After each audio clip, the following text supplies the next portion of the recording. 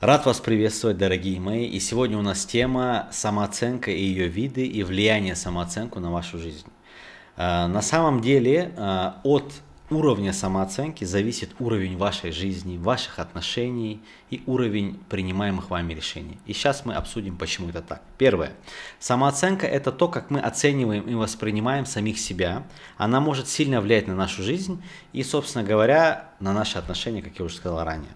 Вообще есть четыре вида самооценки. Это завышенная, это низкая, это нестабильная и здоровая – Сейчас я буду говорить подробно про каждый вид, а вы, слыша это описание, вспоминайте про того человека, который у вас плывет в голове.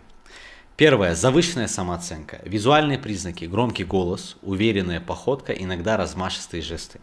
Поведение часто демонстративное, стремление показать всем лучшую версию себя, привлечение к себе внимания, идеализация себя и принижение других.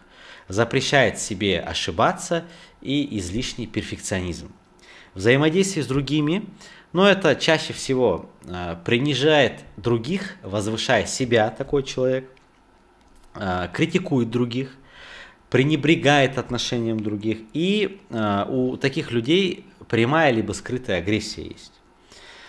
У них завышенные требования к другим и ожидания от других нереальные. Да? Это люди из разряда «мне все должны», как я сказал, так и должно быть. То есть, как, бы, как будто бы я выше других. Да? Но это люди с завышенной само, самооценкой. А внутреннее убеждение – это не мой уровень. Во всем виноваты другие, я ни в чем не виноват. Эти люди, которые считают себя гениями, но общество всегда ставит их на место. И такие люди всегда считают себя правыми. И даже когда они понимают, что они неправы, они не признают свою неправоту. Идем дальше. Низкая самооценка. Визуальные признаки. Сутулые плечи, негромкий голос, неуверенная походка. Поведение – это неуверенность в своем мнении, страх в словах, в мыслях. То есть человек, э, находясь в обществе с низкой самооценкой, э, боится даже высказать свое мнение. И он стоит и думает, что «ай, лучше промолчу, все равно мое мнение ничего не решает, мое мнение не важно» все равно э, решения принимают другие. Это все про заниженную самооценку. Э, старается не привлекать к себе внимание этот человек, потакает всем во всем, ну, очень часто им командуют таким человеком, такой женщиной, да, э, указывают, что в работе, что в отношениях, и даже где не нравится – не может не то, что как-то проявить свое э, вот это вот поведение того, что ей не нравится, даже сказать не может, потому что понимает, что как будто бы всем пофигу, всем наплевать. Взаимодействие с другими не умеет говорить нет, не умеет отстаивать свои личные границы, чаще всего не имеет своих личных границ. Страх перед людьми высшим статуса или должности, да, то есть э, какой-то страх сразу чувствует, теряется и становится такой человек более робким. Хотя на самом деле зачем, да? Но дальше будем разбирать. И внутреннее убеждение у меня не получится. Зачем я это начала? Я ни на что не способна. Я никто и живу никак. Спасибо за то, что есть. Э, больше не надо, потому что не заслуживаю. Это э, не жили богато, нехер начинать, прошу прощения за мой французский. Да? То есть это люди, которые отказываются от возможностей в силу неуверенности в себе, да, и неправильного отношения к себе. Я никому, а, я никому не нужна, мне постоянно чего-то не хватает, чувствую себя самозванцем. То есть это все вот в ту сторону, в ту калитку. И люди с низкой самооценкой э, также сильно подвержены мнению со стороны общества. Очень сильно мнение со стороны общества им важно, оно на них давит. И, собственно говоря, из-за этого кучу проблем, которые сам себе человек выдумал, якобы люди могут так о нем подумать, что-то еще. И страшнее всего, что люди с заниженной самооценкой э, страдают на самом деле чаще всего из-за боязни людского осуждения. Нестабильная самооценка. Кстати, вот у большинства людей э, нестабильная самооценка. Это внешние признаки – в одних ситуациях признаки высокой либо здоровой самооценки, в других ситуациях признаки низкой самооценки. Если говорить открыто, без терминов, когда человека хвалят или когда у человека получается, окрыляется, плечи расправляются, грудь колесом, вера в свои силы, вера в себя, там говорят, какая ты красивая, какая ты харизматичная, и она прям вот как павлин распускается. Когда, наоборот, хаят, как-то принижают или критикуют, человек, человека несет в сторону низкой самооценки. То есть куда ветер подул, туда и самооценка. Когда критикуют, опять же, плечи сутулые, опять же, полная неуверенность в себе, э, потакает в чем-то этим людям. То есть, куда ветер подул, туда и самооценка пошла. Э, проблемы нестабильной, людей с нестабильной самооценкой, то, что внутренней опоры и стержня не хватает, четкое, э, четкого нет понимания своих сильных и слабых сторон, ну и, соответственно, когда нет понимания, нет и принятия.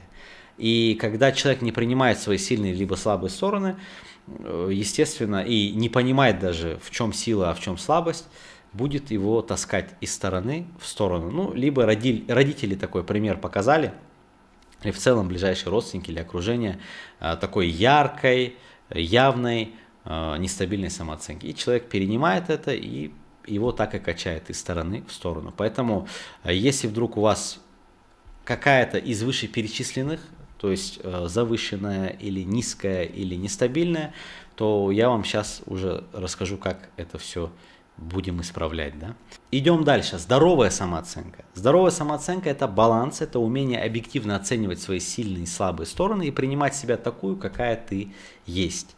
Она позволяет уверенно двигаться вперед, устанавливать реалистичные цели и принимать неудачи как часть процесса и стремиться к личностному росту. То есть что бы в вашей жизни происходило, когда у вас здоровая самооценка, вы адекватно оцениваете происходящее, и даже если что-то не в вашу пользу, вы это принимаете и не страдаете, как не знаю кто, а думаете, как бы, как говорится, с другого пути зайти, да, с другой стороны зайти, или как по другому пути пройти, чтобы прийти к желаемому результату. Далее. Внешние признаки – это уверенность в себе, спокойный тон, раскрепощенность. Поведение э, у человека со здоровой самооценкой – это больше способность и готовность проявлять себя, отсутствие страха быть уязвимым, готовность прощать себя за ошибки, нет страха рисковать и умение поддержать себя вместо того, чтобы критиковать. Взаимодействие с другими люди со здоровой самооценкой умеют отстаивать свои личные границы, говорить «нет» даже если знает, что кому-то это не понравится, и принимать, человек это умеет принимать людей э, без желания менять что-то в нем, да, то есть либо принимает человека такой, какой он есть, либо не принимает и вовсе, да, это что касается здоровой самооценки. Внутреннее убеждение. Если что-то идет не так, ничего в следующий раз получится, это нормально, я же только учусь. А, эти люди считают, что у них все получится, и они смогут даже если где-то что-то не знают, найти это, узнать, научиться и по итогу сделать так, как им нужно. Они принимают свое сегодня адекватно, не волнуются по поводу своей внешности, их все устраивают, они либо прокачивают себя там, где их что-то не устраивает, и в итоге приходят к желаемому, либо их и так все устраивает. Да? А, есть вот такая категория женщин со здоровой самооценкой, у нее может быть там по общественным нормам, уточняю еще раз там, маленькая грудь там, или маленькие губы, но она любит себя вот такой вот, какая она есть, да, она не бежит накачивать там губы или увеличивать свою грудь, потому что, видите ли, в обществе это сейчас стало модно, да. То есть у нее здоровая самооценка, она прекрасно себя оценивает, и кто бы что ни говорил, она о себе мнение в этом плане не меняет. А даже когда человека со здоровой самооценкой адекватно критикуют, вот, допустим, в работе что-то не так она сделала, ей дают критику, она не начинает загоняться от этого. Она, человек, э, то есть женщина с здоровой самооценкой, она внимательно слушает и понимает, что ей нужно исправить и как нужно поступить в следующий раз. И она разделяет критику своей личности э, между критикой ее действий. То есть очень важно понимать, что не нужно э, одевать на себя чужую критику за ваши действия. То есть не нужно перенимать на личность то, э, в чем критикуют ваши дела. То есть ваши дела не есть ваша личность. Потому что дела можно изменить. Возьмите на заметку. Теперь, как развить здоровую самооценку? Первое. Осознанность и принятие. То есть первый шаг – это осознание и принятие своих сильных и слабых сторон и понимание того, что ошибки – это часть вашего пути. И где вы что-то хотите подправить, в плане своих действий, мыслей, прокачиваемся, обучаемся, там, занимаемся спортом, у кого что, да, то есть и идем по пути того, что хотим исправить. Второй момент. Позитивное мышление. Практикуйте позитивное мышление, заменяйте негативные мысли о себе на позитивные утверждения. То есть не фокусируемся на э, отрицательных моментах, фокусируемся на положительных, потому что у нас абсолютно у всех есть свои плюсы и минусы. И умение фокусироваться на плюсах очень сильно перекрывает любой минус. Третье. Реалистичные цели. Ставьте перед собой реалистичные и достижимые цели. Маленькие успехи помогут вам чувствовать себя более уверенно. Ну, как я уже ранее пример приводил в одном из видео, э, поставьте цель 7 дней подряд э, там, бегать по 2 километра. Или 7 дней подряд не кушать после 6. 10 дней подряд читать по 5 страниц в день. То есть маленькие цели во благо вас, э, которые, в которых вы будете ставить галочку – и, собственно говоря, фиксировать себе, что вы можете, вы, вы что-то захотели, вы этого достигли. И путем маленьких целей вы будете приходить к большим, потому что горы состоят из камней. Идем дальше. Теперь практические задания. Как эту ситуацию исправлять? Первое. Упражнение «Дневник успехов». Каждый день записывайте три вещи, которые у вас получились хорошо. Это могут быть даже самые маленькие достижения. Допустим, вы запланировали что-то сделать по работе, вы запланировали позаниматься спортом, вы запланировали не кушать сладкое там, или мучное, да? записывайте это то есть дневник достижений. Польза от этого, это поможет вам сфокусироваться на позитивных аспектах вашей жизни и видеть свой прогресс. То есть, чтобы вы научились фокусироваться на позитивном. Когда вы в себя больше позитива в эмоциональном плане вкладываете, э, соответственно, вы становитесь, э, внутри вас погода очень позитивная будет. Второе упражнение – это письмо себе. То есть, напишите письмо себе, в котором вы опишите свои достижения, за что вы гордитесь собой и какие у вас сильные стороны. Можете с самого детства взять. С самого детства взять, какие у вас были достижения, какие у вас сильные стороны. Польза этого упражнения, оно поможет вам увидеть себя с другой, более позитивной стороны и укрепить веру в свои силы и веру в то, что у вас все, что вы бы не захотели, у вас получится. А также вы должны понимать, что самооценка формирует с самого детства и по сей ваш день она может меняться. У вас может быть в детстве в силу вложенных э, эмоций, слов, действий вашими родителями быть низкая самооценка, по мере вашего взросления в школе стать там нестабильной, потом стать здоровой, потом вы вышли замуж, ваша самооценка снова стала низкой, потом вы развелись, допустим, не дай бог, она стала опять здоровой, и к чему я это? Только постоянное периодическое развитие себя, то есть работа над собой, над своими мыслями, знаниями, навыками, э, даст вам возможность находиться всегда в состоянии здоровой самооценки. Поэтому очень важно прокачивать свою самооценку, держать ее в здоровом состоянии. И ведь все принятые вами решения исходят, исходя из уровня вашей самооценки. Итак, сегодня мы изучили, что такое самооценка, ее виды, также я вам дал практические задания, которые уже помогут трансформировать в лучшую сторону свою самооценку. И еще кое-что.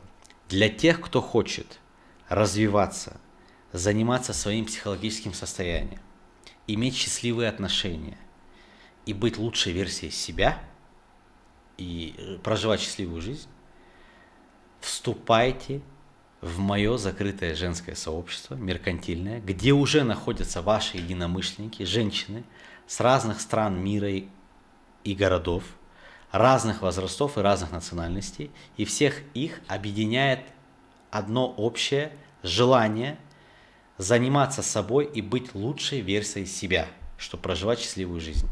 Ссылка под этим видео. Переходите, подписывайтесь и вступайте в закрытое женское сообщество меркантильное. Всем спасибо. Увидимся в следующем ролике.